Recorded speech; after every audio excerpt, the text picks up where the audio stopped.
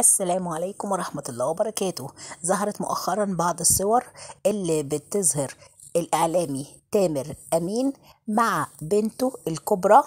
ملك أثناء حفل تخرجها. ظهر الإعلامي تامر أمين مع ابنته ملك اللابسة فستان أصفر قصير آه، في حفل تخرجها من إحدى الجامعات آه، في مدينة القاهرة. شاركها أيضا الاحتفال أختها الأصغر منها نور ووالدتهم الإعلامية السابقة شيرين الشنيطي.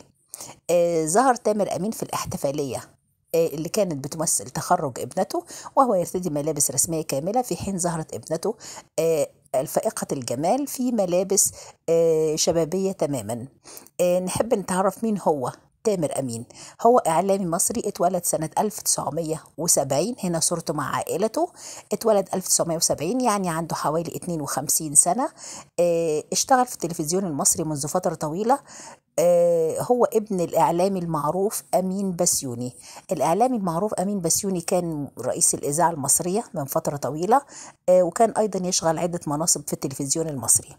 آه، زوجته اللي لابسة فستان أسود اللي هي شايفينها حضراتكم قدامنا ترتدي الحجاب هي المذيعة السابقة شيرين الشنيطي.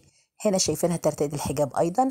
المذيعة شيرين الشنيطي كانت مذيعة في التلفزيون المصري. شاركت تامر أمين في عدة برامج تلفزيونية. آه، لكن استطاعت بعد الزواج أن يقنعها باعتزال العمل الإعلامي تماما.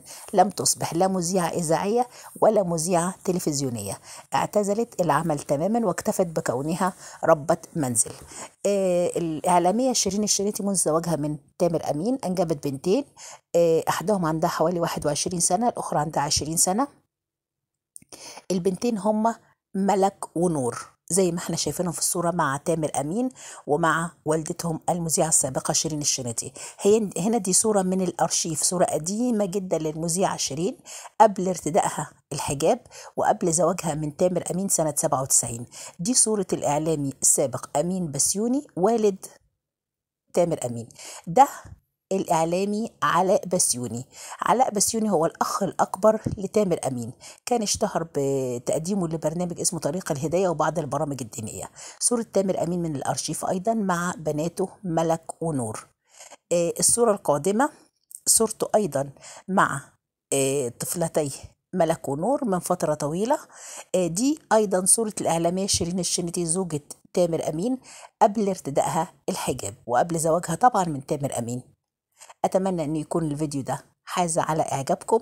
إن شاء الله نتقابل غدا في تمام الساعة الثامنة بتوقيت القاهرة. دمتم في رعاية الله وأمنه.